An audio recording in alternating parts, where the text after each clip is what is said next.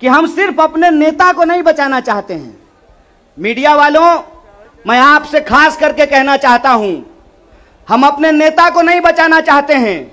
एक कहावत है, सच को आँच नहीं होता है, हमको अपने नेता की चिंता नहीं है। हमारा नेता कुछ गलत नहीं किया और सरकार उसका कुछ गलत नहीं कर सकती, इस बात को याद रखिएगा।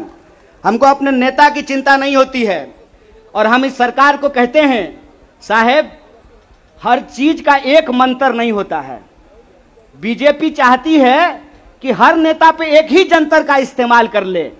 तो मैं भाजपाइयों को कहना चाहता हूँ, रे भाजपा वालों, ये राहुल गांधी हैं, इंदिरा गांधी के परिवार से आते हैं, राजीव गांधी के बेटा हैं, आतंकवादी से नहीं डरे, तुम तो वैसे भी माफ़ी मांगने वाले लोग हो भाई। तुमसे क्या डरेंगे यार कि मोदी जी को कोई साधु बता दिया है? कि विपक्ष के सारे नेताओं पे एक ही कैप्सूल इस्तेमाल कीजिए। एक कैप्सूल सबके ऊपर बराबर लागू नहीं होता है। सब धन बाईस पसेरी नहीं होता है। इनको लगता है कि एक बार ईडी भेज देंगे तो कांग्रेस पार्टी डर जाएगी। कांग्रेस के कार्यकर्ता डर जाएँगे और चुप होकर के बैठ जाएँगे कि देखो देखो, इसके नेता के ऊपर ईडी आ गया है तो कार्यकर्ता को कौन पूछता है? कांग्रेस पार्टी के अंदर इस बात का जज्बा है कि अगर हम देश को अंग्रेज़ों से आज़ाद करा सकते हैं तो इस देश को हम अंग्रेज़ों के चापलूसों से भी मुक्त कराएँगे। इस बात को याद रखिएगा।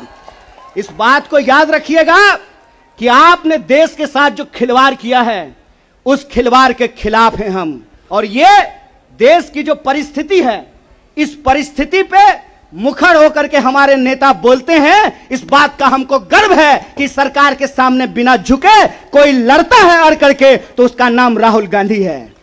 उसको डराना चाहते हैं, उसको डराना चाहते हैं, उसको झुकाना चाहते हैं।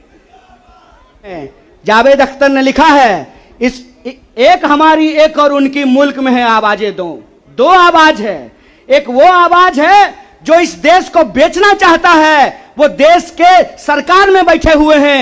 एक वो आवाज़ है जो देश को बचाना चाहता है वो सड़कों पे खड़ा है वो जंतर मंतर पे बैठा हुआ है वो सत्याग्रह कर रहा है। कांग्रेस पार्टी की लड़ाई सिर्फ़ अपने नेता को बचाने की लड़ाई नहीं है कांग्रेस पार्टी की लड़ाई इस देश को बचाने की लड़ाई है। वो देश जिस देश को गांधी ने बनाया है जिस देश को नेहरू मौलाना अबुल कलाम आज़ाद ने बना, बनाया है उस देश को बचाने की लड़ाई है। कांग्रेस पार्टी को लेकर के भाजपा लगातार प्रचार करती है। कि अगर कांग्रेस किसी चीज़ का विरोध कर रहा है तो सही होगा। तो आप बताइए, हम भाजपा का विरोध करते हैं, देश के संविधान का समर्थन करते हैं, और उस संविधान को हमने बनाया है, कांग्रेस पार्टी ने बनाया है, इसीलिए कहावत कही जाती है, जाके पैर न फटे बिवाई, वो का जाने पीड़ पड़ाई। जो पार्टी देश को आज़ादी दिलाई है, वही पार्टी इस देश की आज़ादी की रक्षा कर सकती है। इसी आशा और उम्मीद के साथ कि सत्य और अहिंसा के रास्ते पर चलेंगे, सत्याग्रह के रास्ते पर चलेंगे, झूठ को हराएँगे झूठ पे सच भारी है, सत्याग्रह जारी है, यह सत्याग्रह जारी रहेगा। बहुत बहुत शुक्रिया बहुत बहुत धन्यवाद।